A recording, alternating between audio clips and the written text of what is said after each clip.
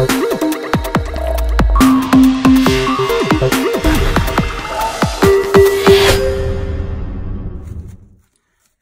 y'all, welcome back. In this video, I'm going to show you how to properly etch a glass using Armour Etch Cream. Stay tuned and I will show you how to do it. All right, let's get started. So first off, I have this glass that I got from the Dollar Tree. I really, really like these tall square glasses. I think it's going to be perfect for what I'm going to do today. Um, I just posted a video actually on my second channel, so go check that out. As this Southern Girl Can Chalk. I will link to it up here. I did this small glass that says Tropical Vibes. And in this one, I'm going to be using this Life is a Beach transfer from Chalk Couture. If y'all follow me on any form of social media, you know that I am an independent designer with Chalk Couture. It's really fun stuff. I'll put a bunch of links in the description box down below so that y'all could please go check all that out. But we're going to be using this stencil and we're also going to be using Armour Etch Cream. So you're going to need that. You're also going to need a paintbrush. This is one of my unicorn paintbrushes I got from Hobby Lobby. A Chalk Couture silicone squeegee, scissors, and your glass. This glass has already been cleaned with acetone. I'm just looking at it to see if it has any little fuzzies on it, just wiping it with my shirt. But anyway, I want to tell y'all a little bit about Armour Etch. I've been using Armour Etch for a very, very long time with really good success. And I'm going to tell y'all what I have learned over the years of using this. Now, I know a lot of people will tell you to use one of these sponge applicators, dab it on, and then just let it sit. Don't do that. That's going to give you splotches. It's going to give you streaks. It's going to be a very uneven etch. So don't use one of those. Use a paintbrush and use the technique that I'm getting ready to show you in this video. Also, you can wear gloves with this if you're going to touch it with your hands. I'm not wearing gloves. I know somebody's going to say, you need to be wearing gloves. No, I don't need to be wearing gloves because I'm not touching it. Okay? But if you're actually going to touch it with your hands, you do need to wear gloves because this could wreak havoc on your skin. So let me just cut this little guy out here. Now, when you apply your transfer, don't press it down with your fingers. That's another mistake people make. And then the oil from their skin gets on your surface, whatever you're etching, and the cream can't really break through it as well, and you're going to get uneven results.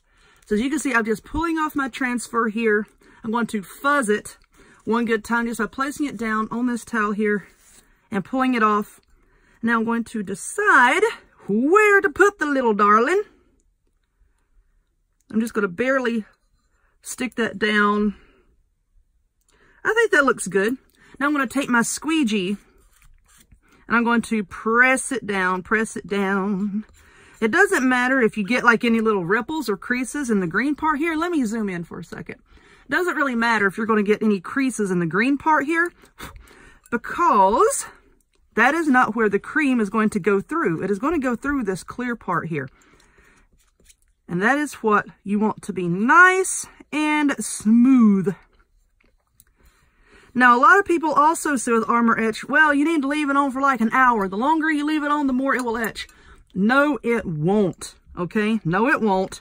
It's only designed to etch to a certain point, and the longer you leave it on does not mean that you're going to get a deeper etch. In fact, what you can do is you're going to make what they call scorch marks on your glass, and it's not going to look very nice. Okay, so leave it on for the amount of time that I'm getting ready to tell you, and you will be fine.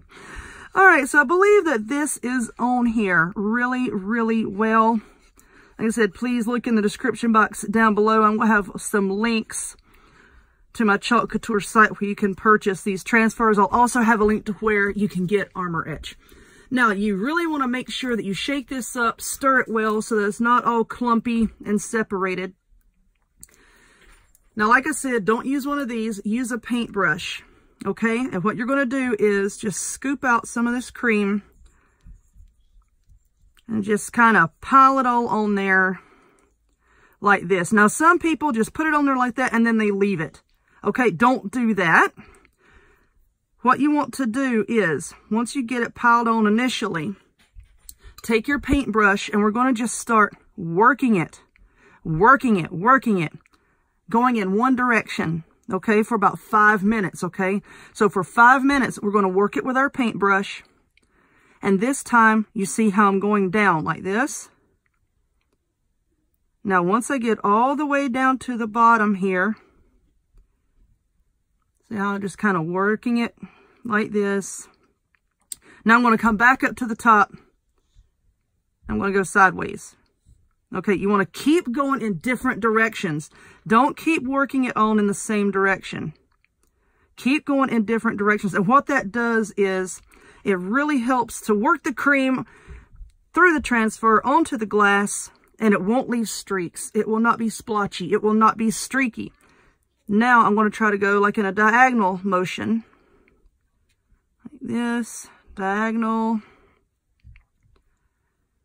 And then I'm going to go back to going up and down like this. And yes, my bottle of Armour is not exactly brand new. And it has like some little, um, some little particles in it.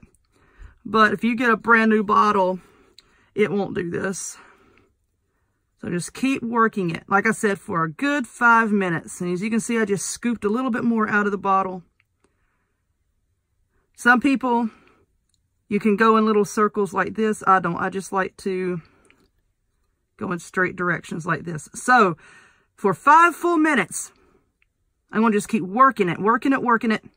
Then after that five minutes, I'm going to let it sit for another 10. So all total, you're going to have your cream on this glass and on this transfer for five minutes. It will not mess up the transfer. It is not going to mess up your brush. Just when you're done with this portion here, when your five minutes is over, go rinse your brush out with some warm water. So like I said, I'm going to time this for five minutes and then just let it sit still. After I pile more on, just let it sit still for an extra 10. And then you should get a really, really good result doing it that way. So let me work on this.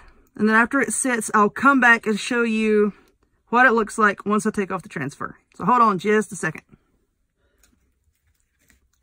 Okay, y'all. So I worked that around for about five minutes, and then I set it off to the side and just let it rest for 10 minutes. Now, I want to show you all this. Um, like I said, my bottle of Armour Etch is not brand new. It's been sitting for a little bit. As you can see, it has some little blobs in it, these little crystals. If you get a brand new bottle of Armour Etch and you're using it, and you see these little crystals, that does not mean that the product is bad. Okay, these little crystals will just automatically form and I'm not really too worried about it right now because I'm only working on one glass. But like if I was going to be using it on a whole bunch of things, I would put the lid on the Armour Etch cream, put it in a pot of hot tap water, okay? Don't boil the water, don't heat it up above tap water, okay? Just hot tap water and let it sit there for about 15 minutes, okay? And a lot of those crystals will dissolve. Now, if the crystals won't dissolve, you know, just take your brush and just kind of place them over here on a piece of your uh, transfer or stencil, whatever you're using. You, you don't want it setting on the glass part because what those crystals can do is they can actually create little scorch marks on your glass, okay? And we don't want that. So now what we're going to do, now if you want to, you can just take this directly to your sink, rinse it off really, really well, and then pull your transfer off. But for me, I'm just going to take this little squeegee here and scrape off some of the excess. And I'm just going to wipe it on this paper towel. So I'm just going to scrape it off because I don't want it to like get all over my sink for one. I'm just going to scrape off a whole lot of it so that it could just go directly into the garbage. Some people scrape this off and reuse it and, you know, put it back into the container. You can do that if you want to. Sometimes I do, sometimes I don't. Depends on the mood I'm in. so now I've got most of it scraped off. And you can also take this and go rinse it now that you scraped it off. But I want to pull up the transfer just so that y'all can see what it looks like.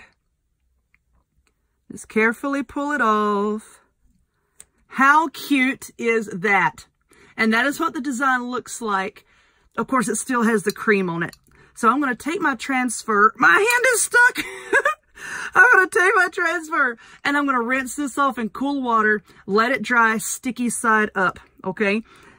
For now, I'm going to set it over there. Now what I'm going to do with my paintbrush, I'm going to rinse it really, really well with warm water. For the glass, I'm going to rinse it under warm water. When I'm sure all of the cream has washed away, then I'm just going to take my hand and wash it really, really well, really gently.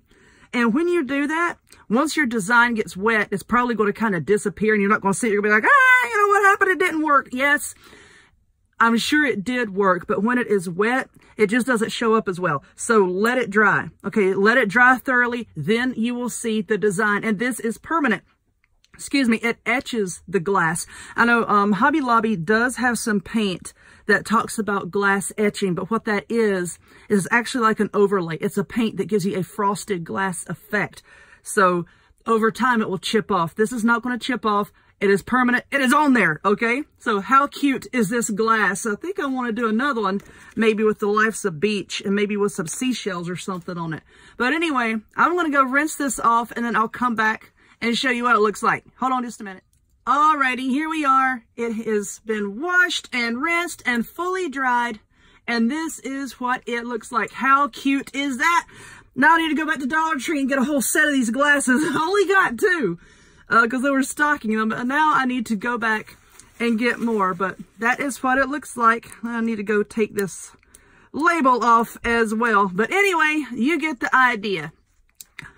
I have a lot of links in the description box that you need to check out. It's uh, to my Chalk Couture site. It's also to my other uh, channel, my website. If you would, please give this video a thumbs up. Click subscribe. Check me out on other forms of social media, the links to all of which will be in the description box down below. And I hope to see y'all next time.